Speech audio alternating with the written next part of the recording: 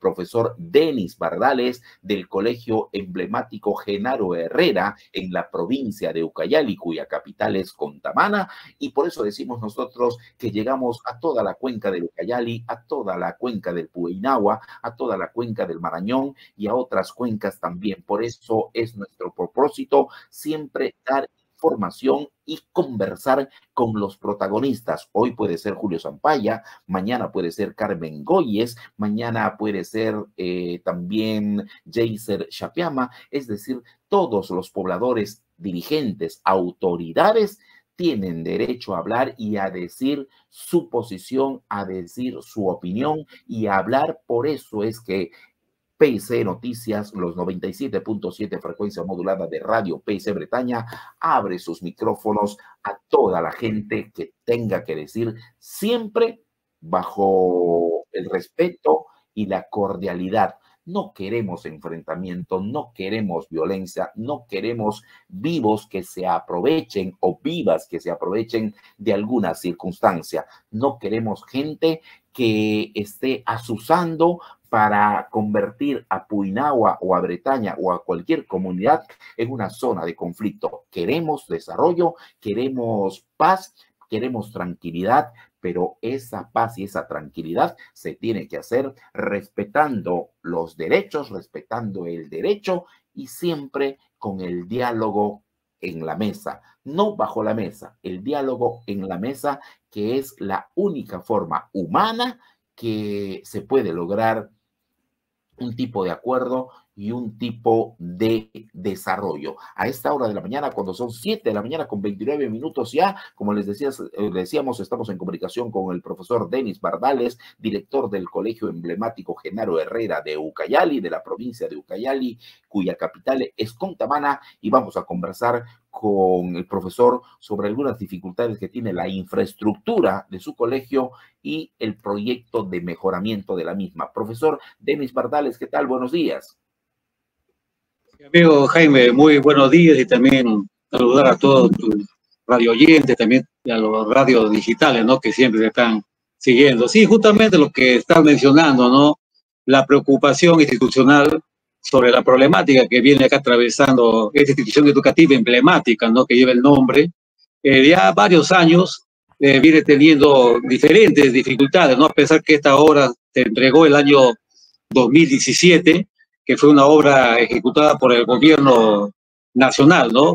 El mismo La Pronier eh, hizo este trabajo, pero quedaron con muchas deficiencias. Por ejemplo, en este momento, amigo Jaime, no contamos con agua potable.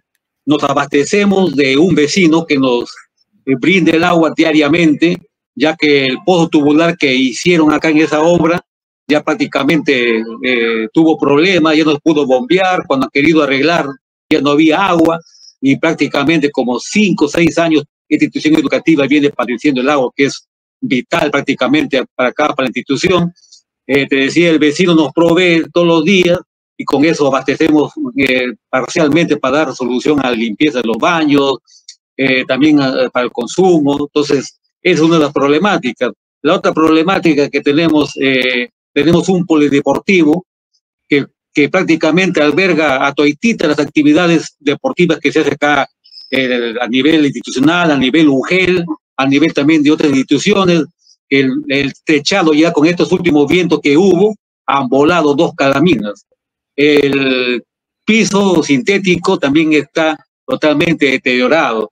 El sistema eléctrico, eh, cada rato los tableros paran malográndose, tenemos eh, una semana luz en una parte, después se quema en el otro y prácticamente es un caos esto también del servicio eh, eléctrico. También eh, se está solicitando el, arreglo o la refacción de nuestra biblioteca, de nuestro centro de cómputo, de los laboratorios de física y química, y no hay mucho más decir también lo que han visto de repente, el pintado, que prácticamente interna y externamente está un desastre, no parece una institución, parece una barraca prácticamente por lo que está. Eh. Entonces, ante esta situación, amigo Jaime, a la visita que hizo el gobernador en el mes de abril, eh, le convocamos una reunión acá. Este año.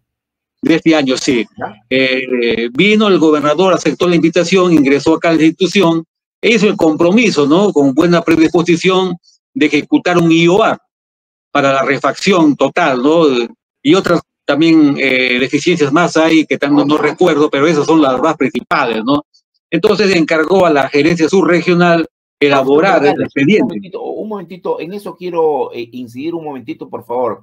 Este colegio emblemático Genaro Herrera se ha inaugurado en el 2017 y desde su inauguración ha sufrido evidentemente algún deterioro porque no se ha dado el mantenimiento adecuado. Ante esta situación, ante las evidencias de la infraestructura un poco deteriorada del colegio, ustedes han solicitado que se haga una reparación, una refacción. Y el gobernador ha visitado en abril de este año eh, el colegio y ahí se ha comprometido a esa refacción. ¿Estoy bien? Ah, así es, por correcto. Se comprometió y, delegó ¿no? al gerente subregional elaborar el expediente del IOAR, ¿no? Para que eh, iniciaron ¿no? este proceso eh, con el perfil y se dio también ya en mes de septiembre de repente un poco retrasado ya, ¿no? El, elaboraron ya el expediente técnico aprobado con resolución ya ejecutiva eh, subregional, donde el monto es de 3.900.000 soles. Entonces, eh, ante esta eh, situación se conversó con el gerente subregional, ¿no? y él hizo el compromiso de que en este año tiene que licitarse ya, ¿no? este proyecto y para el próximo año se debería ejecutar, ¿no? Pero nosotros tenemos que estar vigilantes, amigo Jaime, ¿no? Eh, bueno, lo que él manifestó, ¿no? Ah, muchas veces el viento se lo, lo, lo lleva, ¿no? ¿Ya hay un expediente técnico para la obra o todavía no? Sí, ya está el expediente técnico con resolución ejecutiva subregional ya aprobada, pero nos manifestó que este año ya no hay presupuesto, ¿no? El siguiente paso, luego de la elaboración del expediente técnico, es la convocatoria a una licitación para seleccionar a la empresa que va a ejecutar el trabajo. ¿Eso también se está haciendo o hay alguna dificultad allí? lo que nos dijo que estaban viendo el financiamiento en primer lugar, ¿no? Ya. Porque también incluye todo después de lo, de la licitación y el compromiso de gente subregional fue que en este mes de noviembre va a ser la licitación, ¿no? Eh, con, bueno, él utilizó ahí terminología, bueno, de administrativa, ¿no? De qué manera iba a ser, porque presupuesto ya para este año no hay por parte del gobierno regional y tampoco acá de, la gerencia subregional. Entonces, iba a ser la licitación. Pero si, pero si no hay presupuesto, entonces no se va a convocar en noviembre, no se va a licitar en noviembre. Eh, sí, como te digo, él manifestó, bueno, una terminología, no recuerdo bien, que había consultado ya a la gerencia de infraestructura del gobierno regional y le iban a hacer de esa manera, ¿no? Porque es un IOAR, ¿no? Dijeron que no es una, un proyecto eh, de inversión nueva, ¿no? Entonces, por eso nuestra preocupación, ya yo le ya he cursado un documento a la gerencia formalmente, ¿no? Solicitándole información, cómo ve el avance de lo que se ofreció sobre la licitación, ¿no? Entonces, ya me contestarán sino ya con la, acá la comunidad educativa. Entonces, debo entender de sus palabras que hoy mismo la refacción a través de un IOAR del Colegio Emblemático Genaro Herrera de Contamana está en espera, que está detenido precisamente porque no hay recursos, no hay presupuesto. Si le han dicho así, entonces este año va a ser improbable que se llame a licitación. ¿El próximo año se va a llamar o qué le han dicho exactamente? Porque debemos conversar con el gerente de la subregión Ucayali y también con el gerente de obras del gobierno regional para ver cómo canalizamos la preocupación suya, ¿no? Sí, sí, justamente como te dije, ya hemos remitido un documento, vamos a esperar hasta el viernes que nos responda, si no ya el lunes estaremos con el presidente de la PAFA, el equipo directivo cercanos a la gerencia subregional. Pues, ¿no? Ahora, en el peor de los casos, profesor, en el peor de los casos que le digan que no hay presupuesto y tienen que esperar el próximo año, ¿qué van a hacer ustedes? Eh, bueno, ya eso lo determinaremos con la PAFA, ¿no? Pero bueno, ya creo que hemos conversado de repente con el presidente de la PAFA va a tener que hacer otra movilización, porque para que se avance con este proyecto hemos tenido que hacer una movilización pacífica, ¿no? Y creo que de esa manera vamos a tener que continuar, ¿no? Porque el 2025, amigo Jaime. ¿Sí? Sí, le escucho, le escucho. Sí, el 2025 queremos iniciar el año escolar en buenas condiciones, pues, ¿no? Creo que eso merecen los, los estudiantes, ¿no? Una buena, mejor condiciones en sus aulas, en toda institución. Y bueno, este proyecto está eh, con un tiempo de 120 días, dice el, la resolución, ¿no? Entonces, pues nosotros quisiéramos que lo más pronto posible se, se inicie, ¿no? Entonces, llamar al gobernador regional, ¿no? En su predisposición política que, que dé solución, ¿no? Yo sé que hay un sinnúmero de problemas a nivel regional, ¿no? Pero este colegio es una institución que ya años viene padeciendo. Yo recién este año asumí la dirección de la institución y estamos con el equipo directivo, maestros, personal administrativo trabajando y preocupados, ¿no? Todos los días tenemos problemas que se ya eh, se malogró tal, tal cosa en el baño, que se malogró en, en el servicio eléctrico, tal cosa, y estar dando solución, ¿no? Entonces creo que con una refacción ya menos eh, tendríamos eh, condiciones eh, eh, mejor, ¿no? Para poder atender a nuestros estudiantes.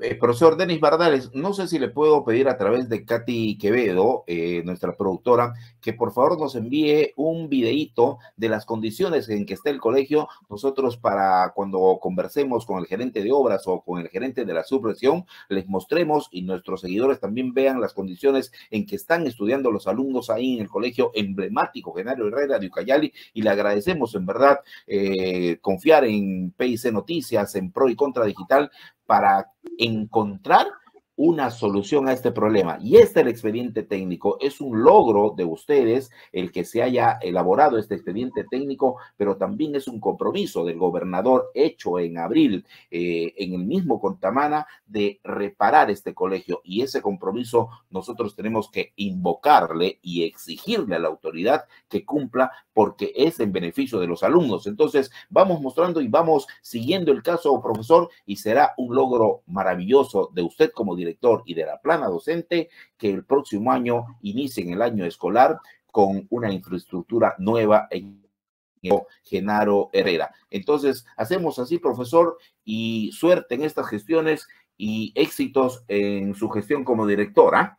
Sí, amigo Jaime, también hay otro proyecto que es la construcción del nivel inicial, que también el, el gobernador también eso hizo el compromiso el año 2023 ese compromiso y también, eh, bueno, eso también estamos haciendo seguimiento de la gerencia subregional y nos dicen que hasta diciembre va a estar el expediente concluido, ¿no? Ese, esa es una hora nueva, pues, ¿no? De, de cero, la construcción del nivel inicial, porque este colegio, amigo eh, Jaime, alberga en, entre primaria y secundaria un solo ambiente, un promedio de 1.700 estudiantes. Y en el otro ambiente, que es de inicial, tiene un terreno propio ahí, solamente cruzando la pista, un promedio de 250 estudiantes. Entonces, esa es la, la problemática que tenemos, ¿no? Y a pesar de eso, amigo Jaime, estamos trabajando, estamos teniendo logros académicos, logros también en el deporte, en el arte, y creo que eh, con, con, la refacción va a ser mejor, ¿no? Vamos a tener mayor comodidad en este el trabajo educativo que, que, tenemos. Te agradezco, Jaime, por este momento que nos da. Vamos a ver a tomar la foto o un video que me dice, ¿no? Para sí. remitirle a tu productor. Paso, profesor, hay que marcar el paso para eh, el expediente del Genaro Herrera y también para que se elabore el expediente técnico de la refacción del nivel inicial, porque eso es lo que tenemos que hacer, ¿no? Acompañar a ustedes para que las autoridades cumplan con su palabra y además esto es para mejorar la educación. O sea, acá tenemos que empujar el carro o empujar el bote, empujar la canoa, todos en una misma dirección. Muchísimas gracias, profesor Denis Bardales, y éxitos nuevamente en su gestión. Buenos días. ¿ah? Muchas gracias, Jaime. Bien, ahí estuvo el profesor Denis Bardales, director del colegio emblemático Genaro Herrera de Contamana, capital de la provincia de Ucayali,